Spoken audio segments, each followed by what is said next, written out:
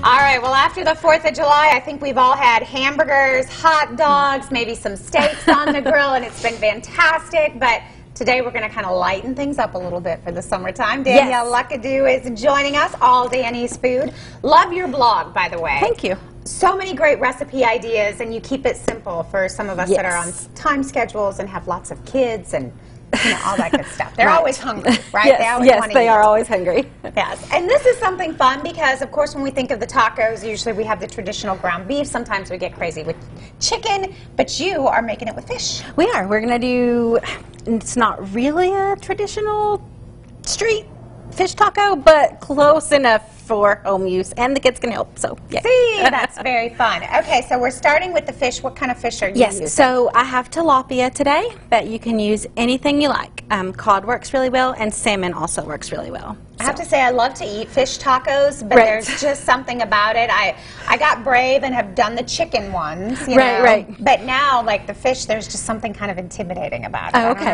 So fish is most people are intimidated to cook fish, but don't because it's the easiest protein to cook. and this is a good white fish, so yes, it's very and mild. tilapia is white, very mild, and you can season it with anything, and it will pick up whatever season you put on it. Okay, so where are we starting? So today, I have started to preheat my pan so it'll be nice and hot, and then I just took, I have two tilapia fillets here straight from the frozen section of the grocery store. oh, nice. Okay, Um, and then you just leave them on the counter for a few minutes, let them get a little bit soft.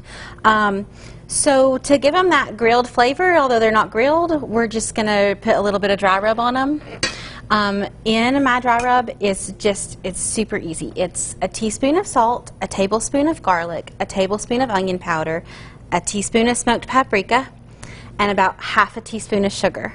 I know it sounds strange, but the sweet really works. And that smoked paprika is going to give you your grilled smoky flavor. Mm. So, and then our pan should be pretty hot, so we're just going to lay them in there.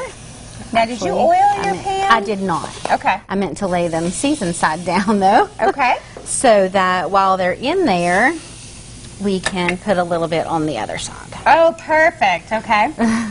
and that smoked paprika you were saying, that is really when you're cooking a lot and using meats, it's kind of a good little secret to have. Yes, yes. Um, you can use regular paprika, it's fine, but you're not going to get that sweet grilled flavor with regular paprika. And I, when I came in the studio this morning, she had already pre-made a few, and I said, that smells so good. Right, right. Even at 9.30 on a Monday morning. So while our fish cooks, we'll make um, our white sauce for fish tacos. Okay.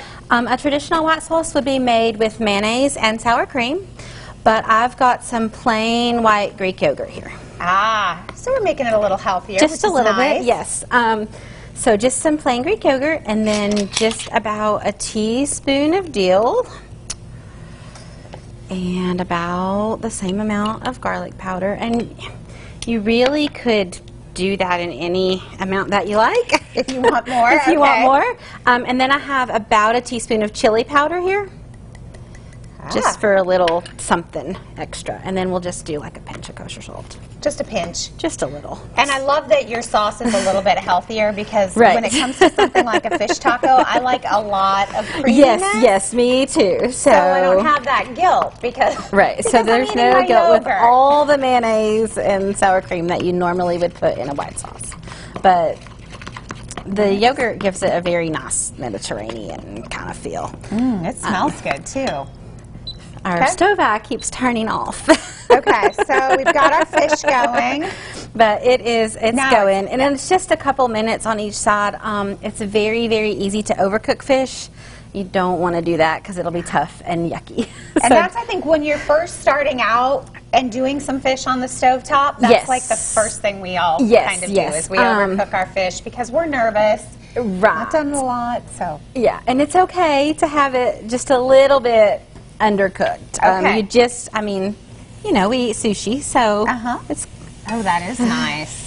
so just it usually just takes three two or three minutes on each side Okay, well, we're going to let you continue doing our fish. and When we come back, we're going to also add a little slaw to go Yes. on top. We're going to plate it up. It's all kinds of good stuff.